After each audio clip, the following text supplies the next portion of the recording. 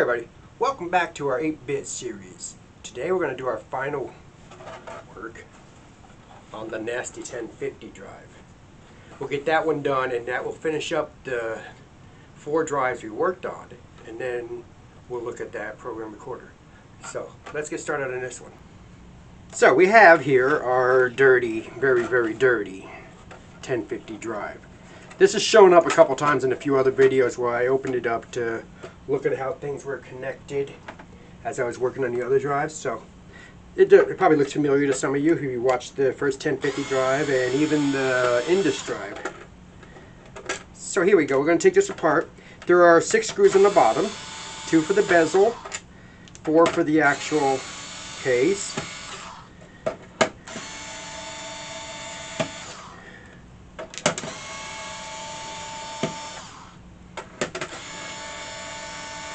if you recall from when I was working on the first 1050 drive, I salvaged the screws out of this one for that one. But later on I went in my big bucket of screws and I found replacements from previous projects. So we take that up here. This comes off, but it's kind of stuck dirty in here. So it's pop it off like that. That's going to need some major cleaning. As you can see, this is a filthy, filthy, filthy drive. I actually should get out my camera. Let's get the little one. We'll set up the small camera here.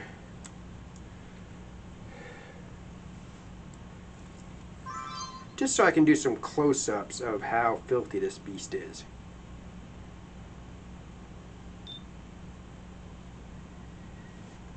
So just to show you in close-up in here. She's very, very dirty as you can see there. Look at this mess. I have not turned this thing on yet. I haven't tried to use this one yet. I'd rather clean it first and then have it blow up, then have it blow up while it's still dirty.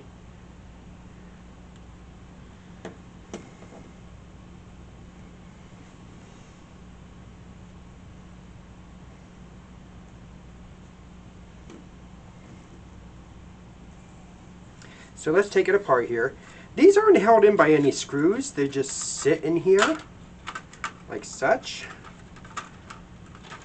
And then the motherboard on the bottom just sits in there too as far as I recall. Well, there's two clips that hold it. So let's disconnect the drive from the, the power board. When you pull these out, don't pull straight up. Rock them back and forth Use the leverage of the plug to loosen it up. Don't just pull straight up, you rip the wires. You, you do take a chance on bending the connector that way. Now I always take pictures of these here, so let me get my camera. Or in this case my phone. Let me get my phone and just take a picture of how these are connected in here. In case I get confused later on. I'm plugging them back in.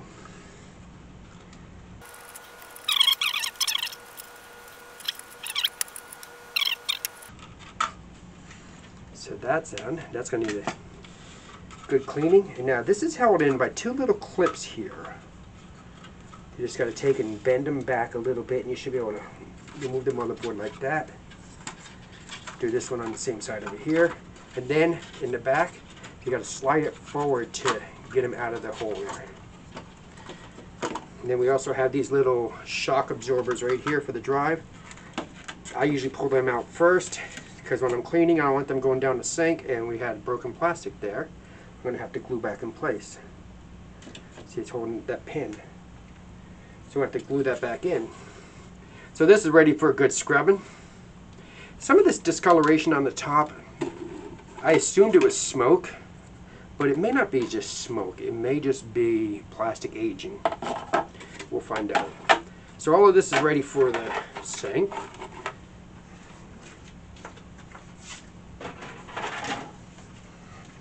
And these right here, ew, dead bug, dead bug. What I'll do is I'll blow these down out really good. Let me just look over. I just want to make sure nothing's obviously bad in here, like something blown, caught on fire, blew up or whatever. I don't see anything, so I will use the compressed air to blow that out. and clean the connectors in the back. This one I will blow out, but let's just check also, let's check the motor. Okay, it's spinning, so the belt's not stuck. And what about the stepper motor here? Is that going to move? Alright, so that's not stuck. And that's not stuck. Good. So just need a good cleaning in here. Yeah, I opened this one up when I was working on the Indus drive because I was considering taking the um, track zero sensor out of here. Then I realized it was a totally different setup. So I couldn't do that. Surprisingly, or not surprisingly, I guess, the 1010 or the 1050 and the 810 do not use the index hole sensor. They must just rely on reading the tracks. What we got in here? Any dates as to when this thing was made? I'm going to assume 1983. I was reading yesterday that they had warehouses full of these 1050 drives. And they were like selling them dirt cheap back in 84, 85 when Jack Tramiel took over Atari. So let's go ahead. I'm going to get the blower. I'm going to, I'm going to wash the other thing. I'll do that off camera because nobody wants to watch that. And then I'll blow these out too. I'll do that on camera. And then we'll scrub it down really good and see what we get. Okay, so I'm set up here now. I sprayed them off just to get some of the buildup off of it. Now I'm going to scrub them down with just straight soapy water. See what we can get off of this, see how clean we can get them. And if the soapy water doesn't cut it, then I'll go at it with something more stronger, like rubbing alcohol or something. Let's try the soapy water first.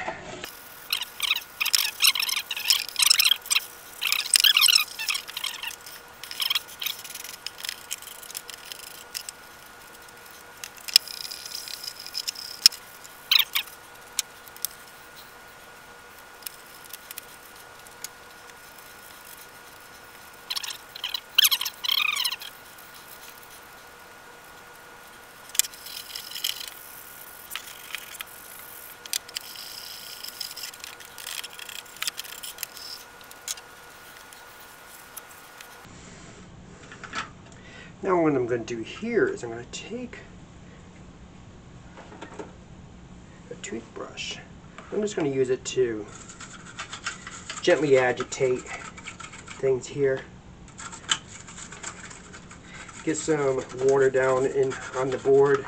I'm going to use the compressed air to spray it clean. So just get down in here,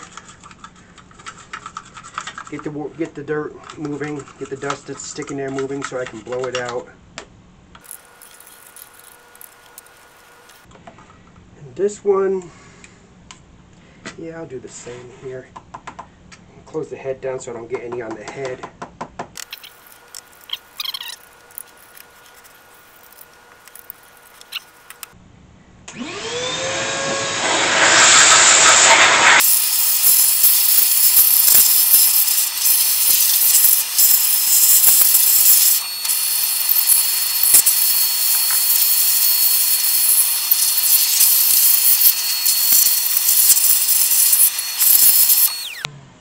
Yeah, now I'll come back and I'll wipe them down with a Q-tip and some alcohol or Windex or something, to get them clean. But I got all the grime off of them. That's what I wanted to get rid of. Alright, so now I'm going to do some more detailed cleaning on this because my quick brushing didn't get all the gunk out of it. So this is just straight rubbing alcohol. I'm just going to spray it in here and take a Q-tip and just clean up on the insides, the parts that the toothbrush didn't get to. And again, is this going to make it run any better? No. But it's just, might as well. Make it a little better.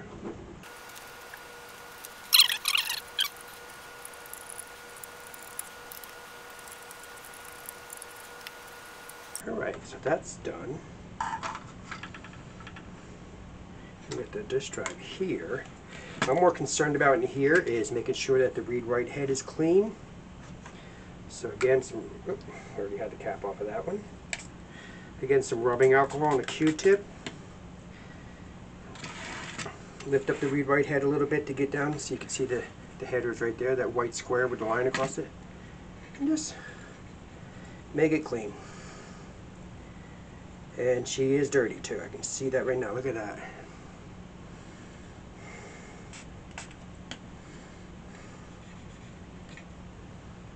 And let's go on the other side is a piece of felt. Let's just wipe that felt off. Now what we have to do here is these rails need to be cleaned and then relubricated. I'm just gonna use this to wipe off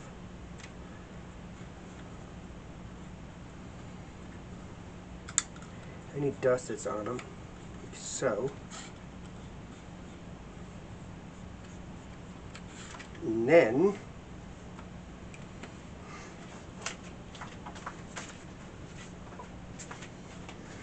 this is sewing machine oil and it works very good for this.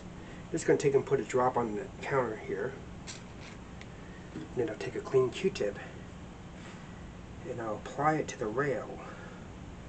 Let me close that. I don't want to get any on the read write head obviously, so I'll apply it to the rail as such.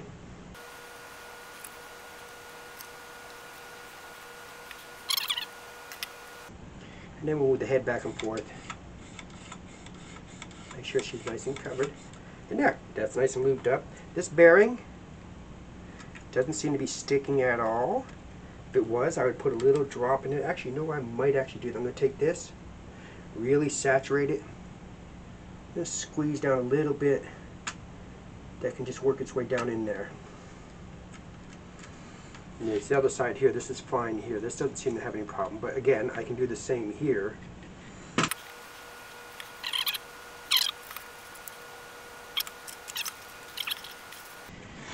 Then we will take, let's get this bezel, front bezel cleaned off really good. Again, I'm going to just use alcohol because it would also, with the rubbing alcohol, it dries and it doesn't, I don't have to worry about it drying and leaving any film behind. So what I'm doing is I'm just going to give it a good wipe down right here with rubbing alcohol.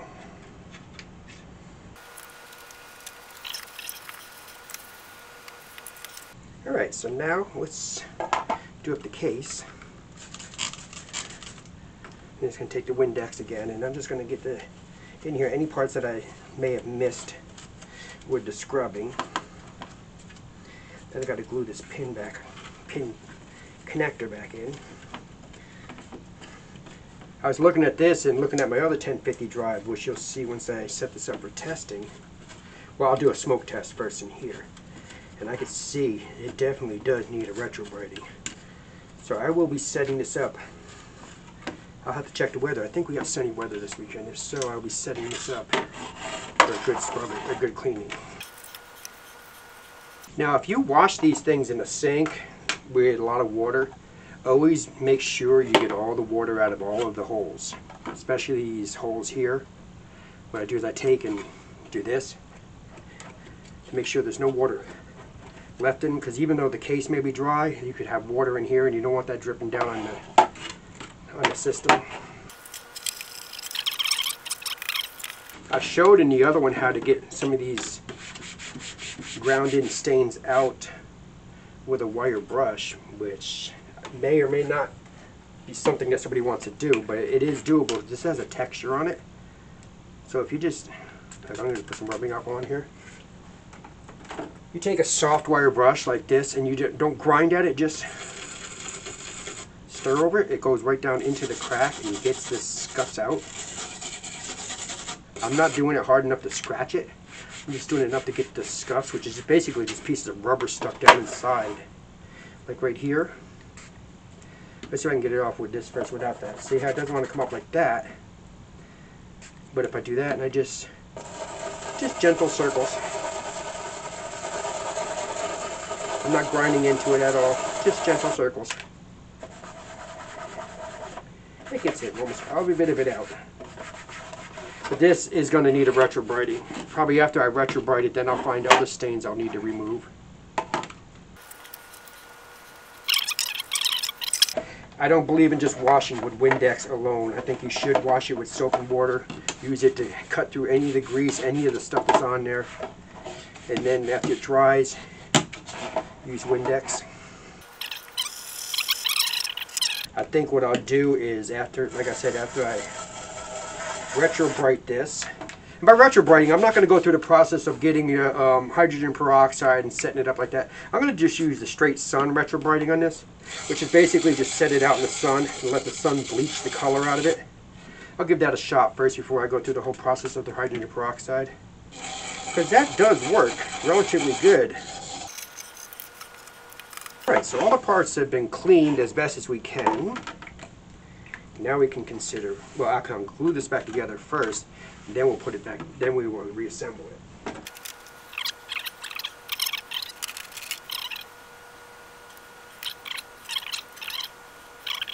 I keep saying, saying to myself I should just use the ultraviolet 3D resin to do it because I can do that and I can cure it with my ultraviolet flashlight. And I always keep forgetting.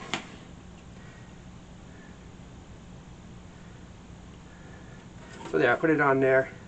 Let it sit here and dry. Alright, so now that it's dried, we can reassemble this.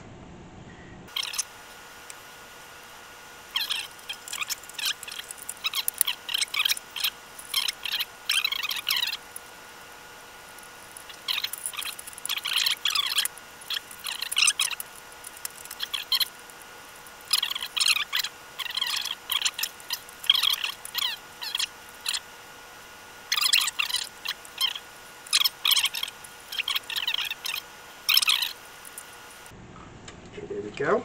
And now before I assemble it the rest of the way, I'm going to get a power supply and I want to test this uh, just to make sure it doesn't go boom. I don't know if this power supply is good or not, so if it doesn't work, I'll go get the other one. But this is, let me just compare the numbers on the bottom. Yes, this is one of the, this is the right one. So if this it doesn't turn on with this one, then I'll get the uh, other power supply I have on the other 1050 drive. Okay, so let's just turn on and see what we get here. Absolutely nothing. So this power supply is probably dead. Should could be dead. I have one other one to test there. I know I had, out of all the power supplies I had, I know I had at least one bad one. Let's just see. I mean, I could always just get the multimeter and test it, but let's just see. Nothing again. Let's test that. Let's just see. Let's check the multimeter and make sure. Should work. Let's just see. I just want to see if it registers anything.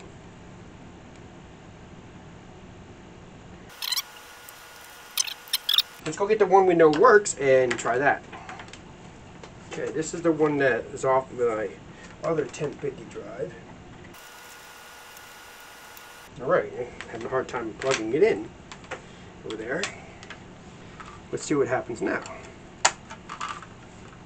Alright, so yeah, that lit up. That's nice. So everything moves, that's a good sign. So I guess the other drives, are, the other power supplies are all dead, bad. I'll have to test them further. So we'll finish assembling this. Then we'll test it on the Atari itself and see how it works.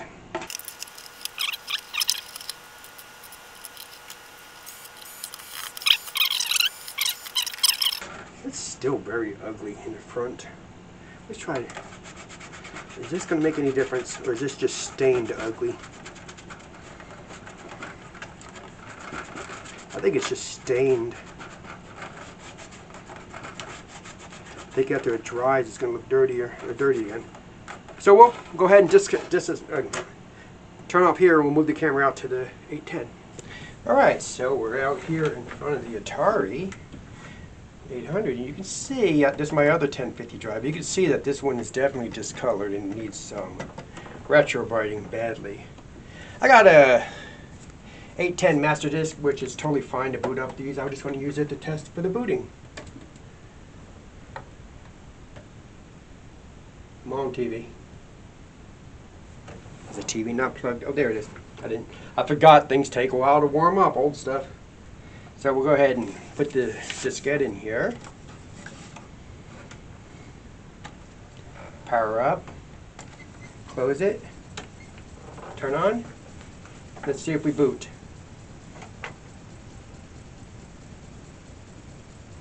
Boot error. Wonder why we're getting a boot error here.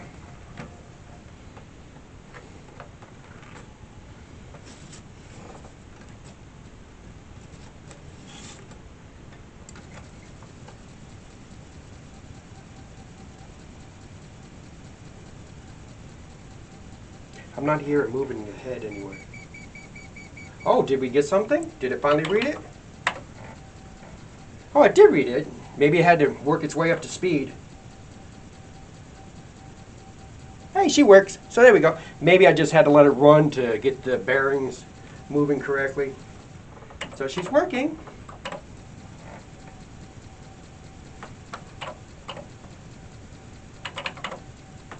So yes, very good, very good.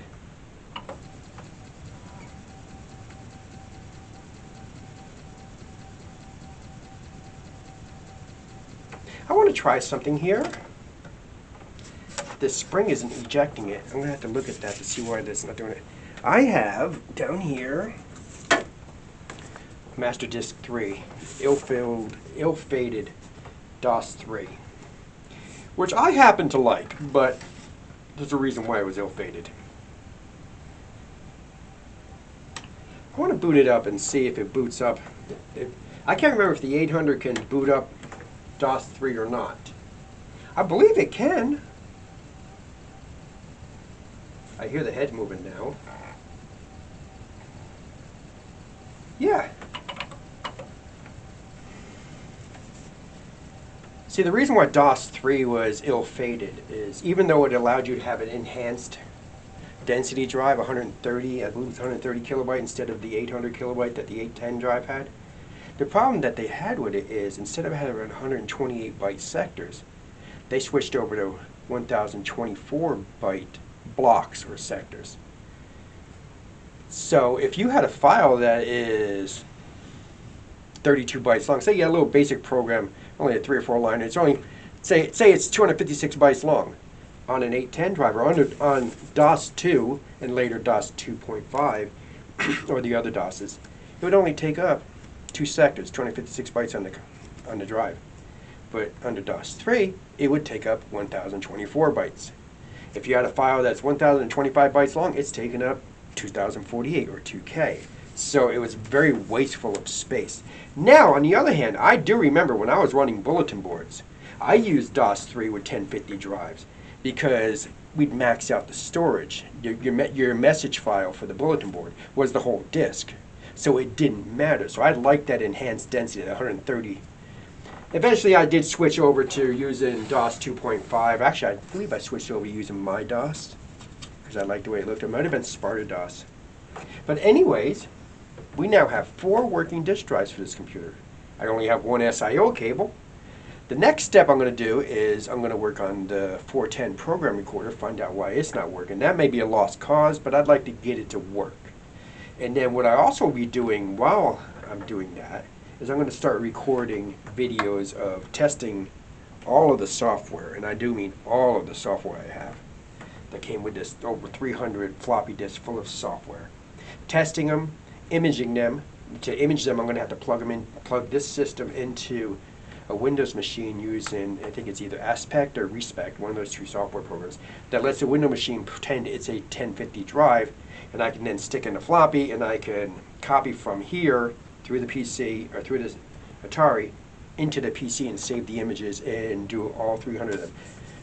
Odds are 99.9% of all those disks, the software that's on them is floating around on the internet somewhere. But I'm going to do it anyways because you never know. Anyways, have a good day. And I don't say this very often, but if you made it this far, leave a comment down below and click like and subscribe. Have a great day.